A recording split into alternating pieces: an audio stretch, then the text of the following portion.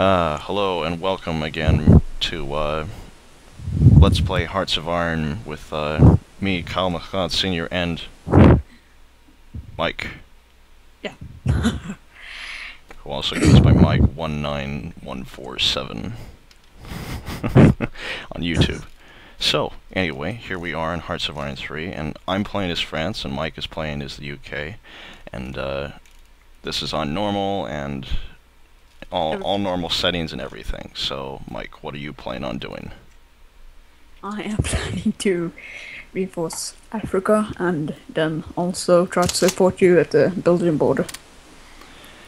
Yes, and about the Belgian border, I am actually going to expand the Maginot Line as the as the French should have done because they have level 10 forts all on the border of Germany but nothing on Belgium so that's exactly what I'm going to do. I'm not sure how long it's going to take but I'm sure it'll be worth it.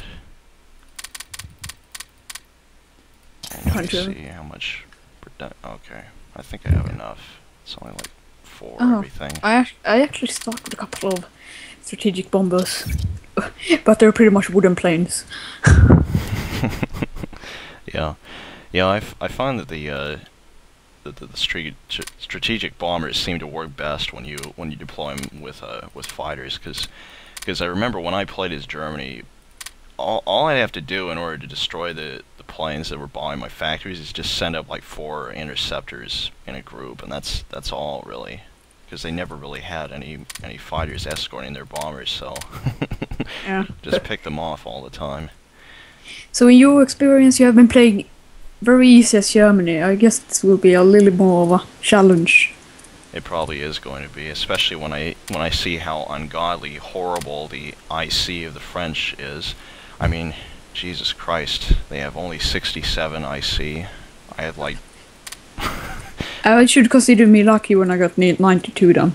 Yeah, I, I, I think I would. I mean, considering that you have close to 100, I don't even have close to 100, so...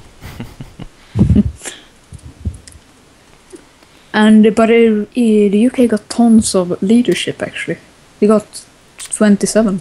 Yeah, and I have, like, an insanely low national unity, so I'm gonna I'm gonna put everything into that when it comes to comes to the spies, because I don't want my unity to be unity to be too unity to be too low because if I if he takes Paris then it's all over. I don't I don't want that to be the way that it turns out, you know. So. I'm actually trying to focus on espionage and well uh, diplomacy for the most uh, research and uh, diplomacy because I want to be able to align most countries to our cause, but I still don't want to get them too early. That the way they'll just get rushed. Yeah. I'm then I'm researching lots of industrial stuff like resources and the education, also computers and radar. I think I actually have a good idea about what I'm going to do. I'm going to just build up the forts as much as I can, and then um, and then when it comes time for the war, I'll just I'll just uh, cancel all the fort projects and then and then mass all my units on the on the Maginot Line, just invade Germany because he won't have that much there because he'll have to fight on Poland first. So I'll try to catch him off guard there. But right now, I'll just try to make it so it seems like I'm you know, just leaving all my guys at, at regular places, I, you know. To be honest, I don't think you can hold the Germans off, but I think you can delay them a large amount of time. I think I can hold them off. I think the problem is, is that I just don't have any forts on the Belgian border, and they're obviously going to go through there. But since I have 10 on everything that's bordering Germany and Luxembourg, I should just focus on, on southern and northern Belgium and just leave middle Belgium undefended with the forts. Just leave all my motorized units there, because that way they can respond to the tanks faster through the center. Mm -hmm. So. I'm actually researching the Thompson uh, Mark 1928, which is and um, but I was thinking maybe you should invest in militia, just as France resistance is. The what? Things don't go as plan planned. Yeah, probably should. But I'm just I'm just ordering my forts right now, so damn, I don't have enough IC to do all these. Looks like it's gonna take an okay amount of time to build them up, but Alright. Oh, oh, I think I got it. Okay. so let me see here. What do I want to leave all my motorized units on? I guess I can leave uh, Sedan and Long Guyon with the. Uh, okay, I'll make I'll make Lille, Cambrai, Hirson, and Charleville the uh, the ones with the motorized units. And I'll make uh, uh, Dunkirk and Hazebrouck the ones with the the new Maginot line. But I- I actually think I'm a little bit against uh, some stuff in what's- what's going on in England this time. But I was thinking of releasing some of the colonies, yeah. like uh, Guyana. But I still want the, their precious resources. Well, you could release them as a puppet state, but that wouldn't really change anything. yeah.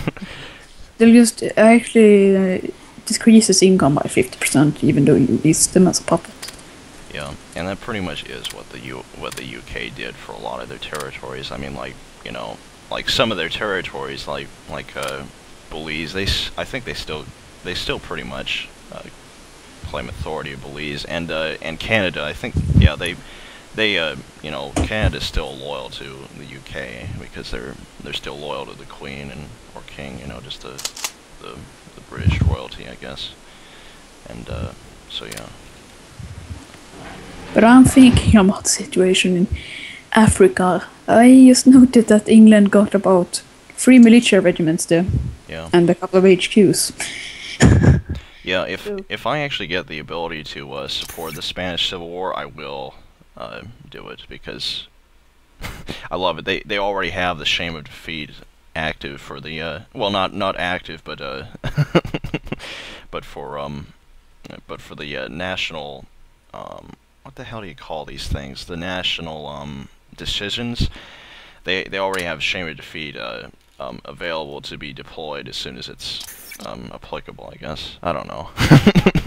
But I'm um thinking, are there any use to invest the defense against Japan from our previous In the uh, experience? well, to me, when I it played was as- well, well, let me let me just elaborate on the whole idea about Japan. Um, they are a total wild card.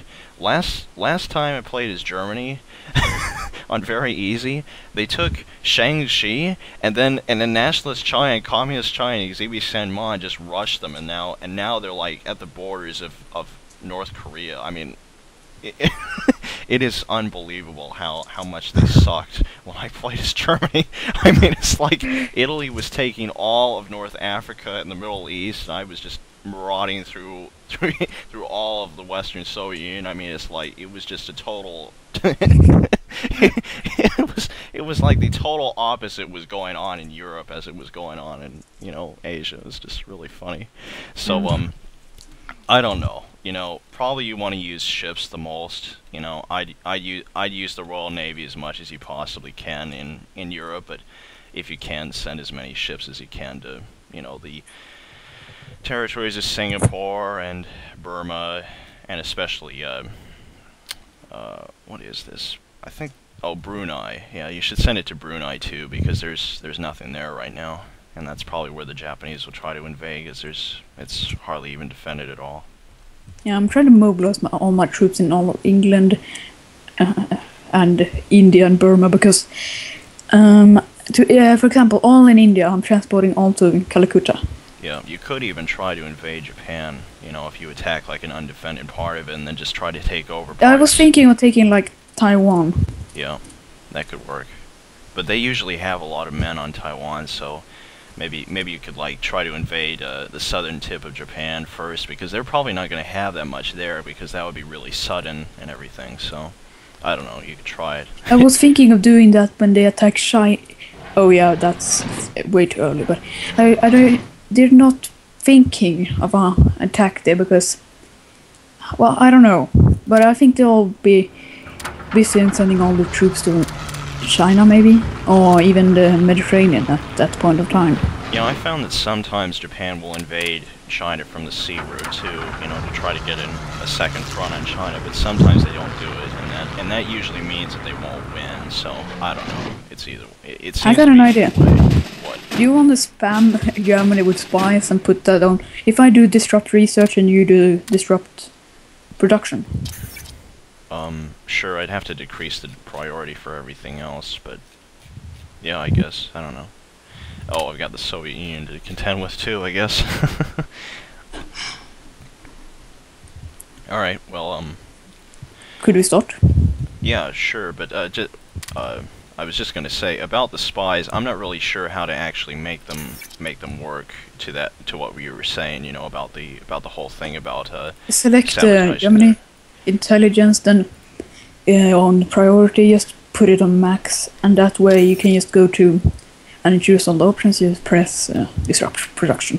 but doesn't that piss them off? I mean, like, like if they, They, if they're, if they've they don't. on, they won't detect you. They only detect you if they got on counter espionage. Oh, I see. But what if they do have counter spying on? Well, Then I'm screwed, right? no, but I, they won't attack you until they got the Danzig event when they attack Poland. Yeah, attack and attack probably full scale invasion. But I was thinking, I better build all my carriers too. but uh, maybe you should add some fortresses to like the rivers around Paris. I think the, those would be good defensive spots. I'm just gonna put it on the border because I think I think if I put it on the border, then I'll just I'll And just have enough. maybe if you if you hold the border, I think that's good enough actually. Yeah. My God, I don't even have rocket tests. France, you suck. I'm sorry, but you really do. I mean, my God, 67 IC, 67. Seriously, should be 69. That would be a- utterly perfect.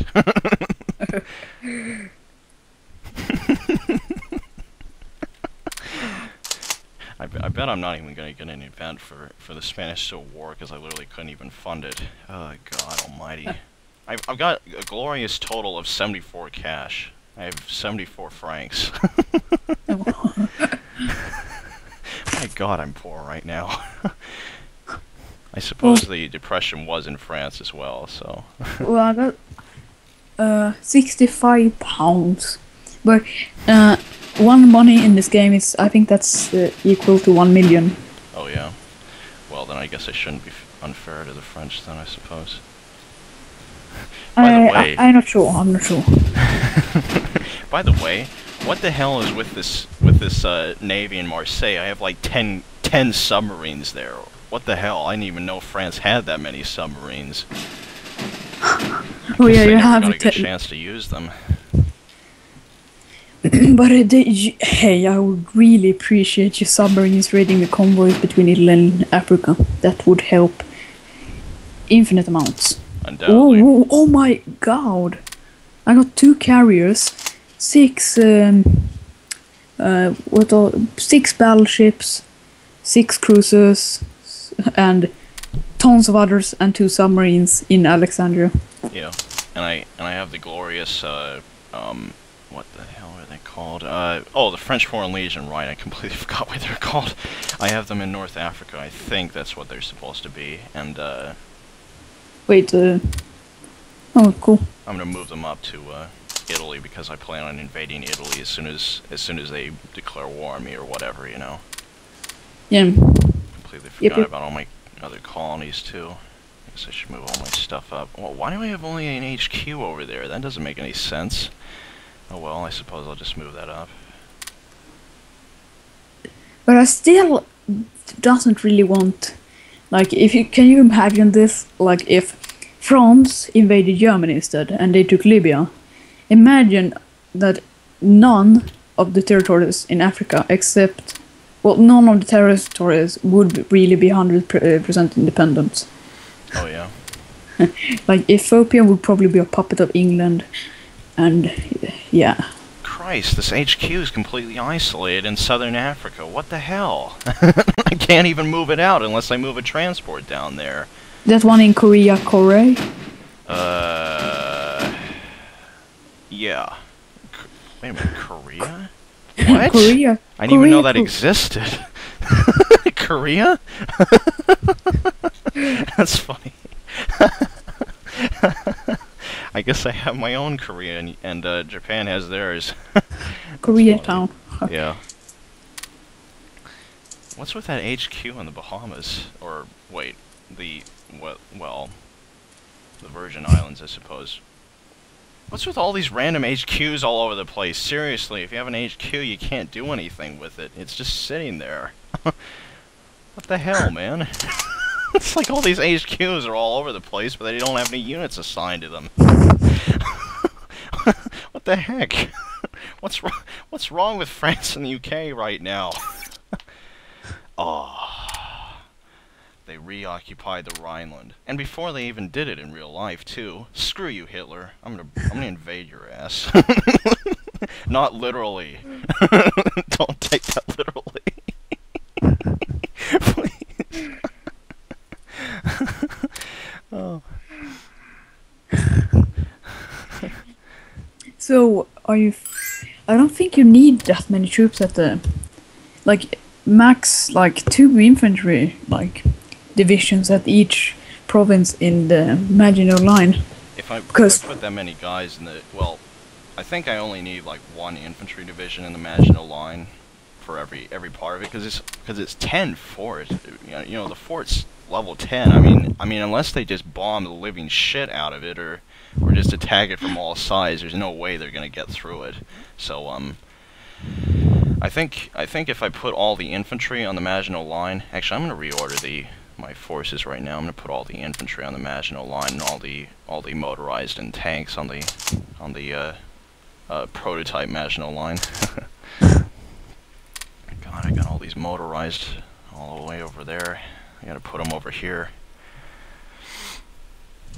Yeah, if I put all my guys in the center where I'm not building the Maginot Line, I could just rush through there and just take all the all the uh, all the provinces away from Germany that they've taken from the Netherlands or something. When I look at it, I actually have a higher level um, light tank than the Germans do. I start out with the 1936 version, whereas they start out with 1938 uh, or 18. I think it's 1918 version for them. I don't think they start out with any light uh, heavy tanks. Uh, light tanks? Oh, uh, I mean heavy tanks. Yeah. Yeah, I, I, I'm in light tanks, not, not heavy tanks, sorry. Oh yeah. What's this battle cru- cruiser, the Dunkirk? don't, don't they have any three-letter thing before it or anything? Like the French Royal Navy or something? I don't know.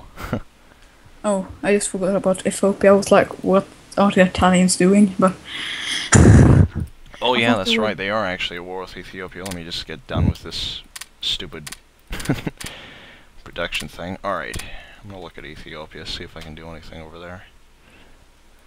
Oh my god, I got a lot of guys over there, but they're all mountaineer divisions. oh, Yes, and Italy has an ungodly amount of men down there, so I don't want to. I don't want any part of that unless I'm going to war World War Two early. those guys are only militias, almost 100% militia, militias. yeah, At I think he's got a lot of uh, infantry though. Yeah, Oh. It, yeah, it's like 75% militia and the rest is infantry and HQs. Yeah, that's probably it. I I can't really remember because I that one that one time I played as Italy, I did actually in, um, do the Ethiopia battle and everything, and uh, I don't know, it was sort of fun, but I couldn't really tell what I had exactly because they were spread out all over the place. Okay, let me see here. So if I have one, if I have like one infantry division on every single part of the Maginot Line, then pretty much all set right now. Let's make sure I have something over there. Okay, there's at least one over there. Alright, I guess I'll just put them... I, I guess I'll just fortify the uh, eastern Maginot... Well, maybe I should fortify the western one, actually. Okay. So I'll have at least two infantry divisions on the... Oh, Christ. Uh, Hey, fucking I just got one of those awesome ideas, but still kind of crazy. Yeah. What is your I crazy am- idea? I gotta bombard every single road at the Italian border in Libya. really? That way, yeah, that way they won't even be able to get close. But I can't do that because it's my own territory. Oh god. I didn't even know that part of the plan, my god. it sounded sort of good, like, oh, you're gonna destroy his roads, that's cool, but Wait, you're gonna destroy your own roads? What? Yeah, but it would be. Wait, what if I cut out his infrastructure while it's in my territories?